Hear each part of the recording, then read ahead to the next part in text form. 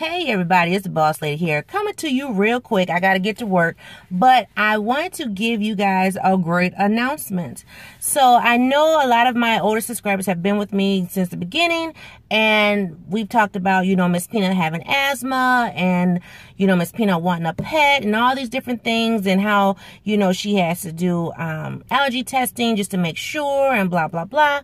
Well, recently, um, I became a grandma to a fur baby. uh, baby girl got a little dog, and don't ask me what kind because I don't know. All I know is he's short, he's sweet, and he's a lap dog. So, yeah, so she got her little dog. She can dress up and all that stuff. So that was probably about, mm, roughly about two weeks ago now. Well, Miss Peanut didn't like that too well because, you know, she had been asking for a pet. You know, fish don't count, frogs don't count.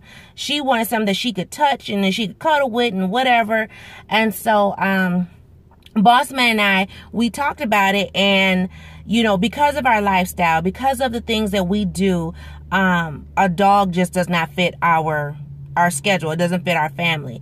Uh, we did have a dog years and years past, but um, as of right now, a dog just will not fit into our schedule. Miss Peanut is very, you know, busy and things are getting ready to pick up for her this coming weekend. So a dog, you know, you got to walk them every day and take them outside and all that great stuff. So it just wasn't going to fit. And so she was not happy. But I can tell you, uh, Boss Man did agree for her to get a kitten. Um, so we have a brand new kitten. Uh, his name is Colby. Miss Peanut had, uh, she did have a request. She said she either wanted an orange cat or she wanted a black and gray striped cat, um, like my previous, um, co-worker had.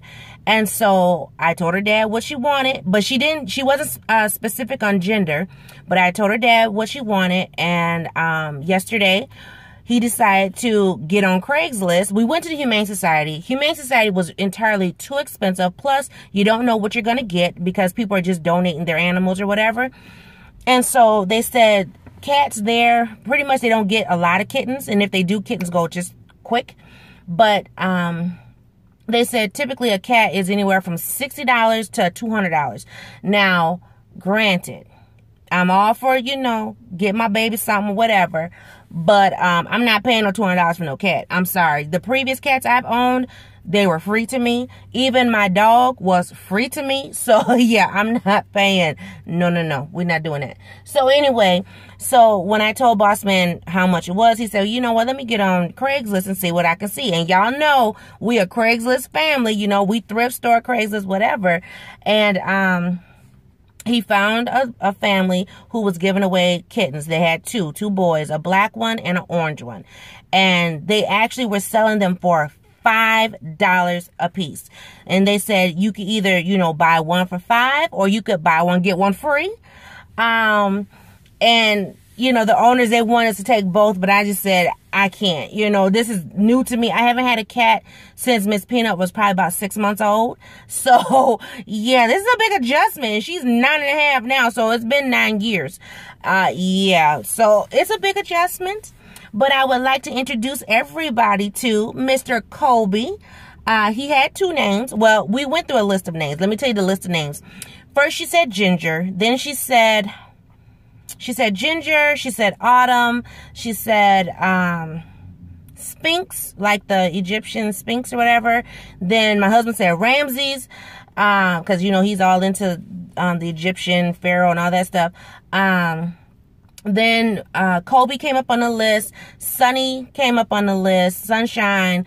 Um, I'm trying to think. We had a few different names, but anyway, um, she, oh, she came up with Emerald because when she looked at the picture, we showed her the picture and his eyes are green. So she said, oh, I can name him Emerald because his eyes are green. So I said, okay, that's a, you know, thought. And then I'm going through a list of names and I came across Colby. And so everybody agreed that they like Colby. So that's his name.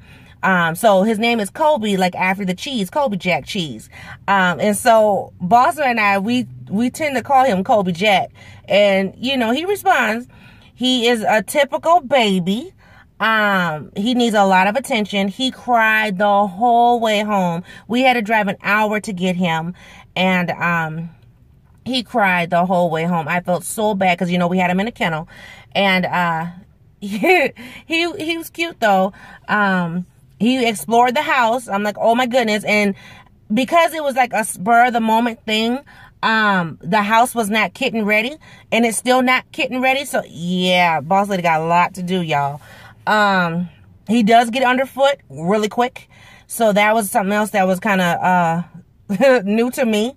Um, but he he loves Miss Peanut. He just cuddles with her. He gets up in her lap and he just purrs and you know um, he wants to be picked up. He wants to be held. So um, she's happy. She is happy. So I'll post a few pictures so you guys can see her with her new kitten.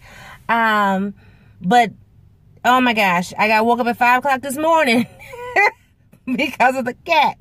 So y'all pray for me. Pray for Boss Lady because I was ready to send him and his litter box out the door.